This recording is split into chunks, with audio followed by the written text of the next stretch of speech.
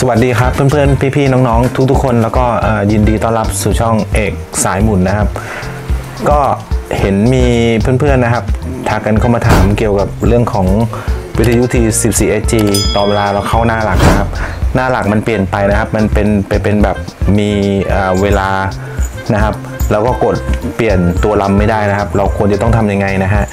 วิทยุตัวนี้นะครับ ใครที่ใช้อยู่นะฮะบางทีก็งงๆในส่วนของ หน้าหลัก การเลือกลำบางทีบางทีเรากดเปิดวิทยุปุ๊บมันก็มีไม่ให้เลือกลำนะฮะบางทีมันก็มีแบบให้เลือกลำก็ก็เลยวันนี้ก็เลยว่าจะมาทำคลิปบอกเพื่อนๆนะครับว่าเเราควรจะต้องทำยังไงนะครับ เรากดตรงไหนเข้าตรงไหนนะครับ กับวิทยุที 14SG ตัวนี้นะฮะอะเดี๋ยวเราไปดูเลยดีกว่านะครับว่ามันทำยังไงนะครับ เวลาที่เราเปิดวิทยุมานะครับ บางคนก็ขึ้นหน้าแบบนี้มานะครับนะครับ บางคนก็ขึ้นหน้าเป็นแบบเป็นเป็นเวลานะครับ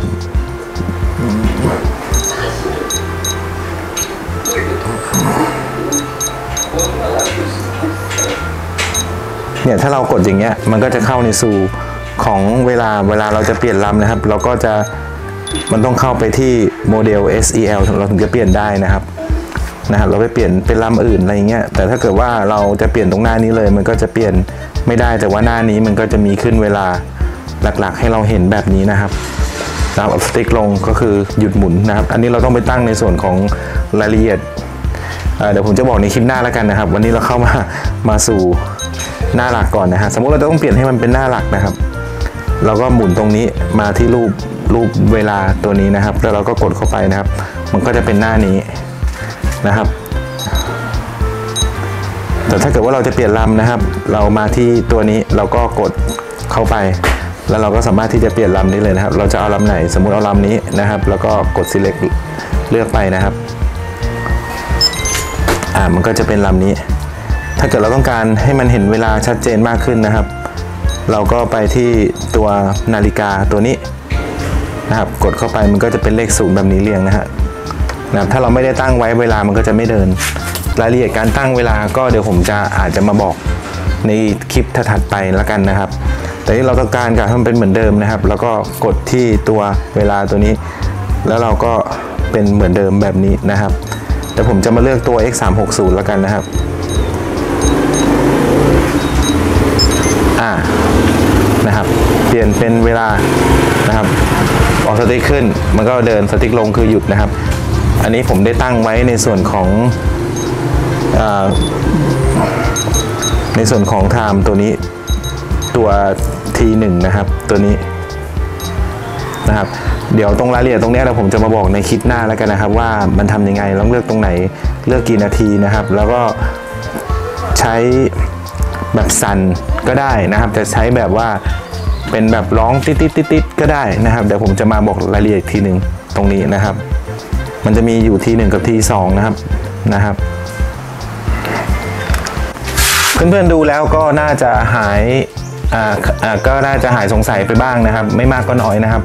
ก็ถือว่าความรู้ตรงนี้เราก็เอามาแชร์กันนะฮะสำหรับเพื่อนๆคนไหนที่เล่นตัววิทยุ T14 อยู่ SG อยู่ตัวนี้นะครับ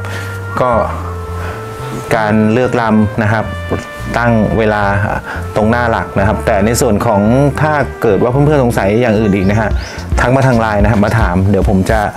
ถ้าเกิดรู้ผมจะทำคลิปมาบอกกับเพื่อนๆอย่างนี้อีกเรื่อย ๆ นะฮะนะครับก็ขอประชาสัมพันธ์นิดนึงก่อนที่เราจะปิดคลิปนะครับ ก็มีตัว 380 นะครับ 380 กล่อง H1 นะครับ วิทยุ Fly Sky i6x นะครับ ก็พร้อมบินนะครับ พร้อมบิน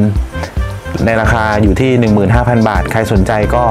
รีบทักกันเข้ามานะครับ ก็ยังก็ยังอยู่นะครับสำหรับตัว 380 นะครับ ตัวสีเขียวดำด้านนะครับนะครับ ใครสนใจอยากได้นะครับ ก็ทักมานะครับ เดี๋ยวผมจะหยิบมาให้ดูนะครับว่าเป็นยังไงนะครับอ่านี่ครับผมหยิบมาให้เพื่อนๆได้ดูแล้วนะฮะกับตัว 380 ลำนี้นะครับมีเบสมีแบตนะครับ แบตให้ 1 ก้อนนะครับ เป็นระบบ H1 ด้วยนะครับ มี GPS ด้วย เดี๋ยวเซอร์โวยกที่กับกันห่างเนี่ยเดี๋ยวผมหาใส่ให้รับรองว่าดีแน่นอนนะฮะแล้วก็บินได้ปกติ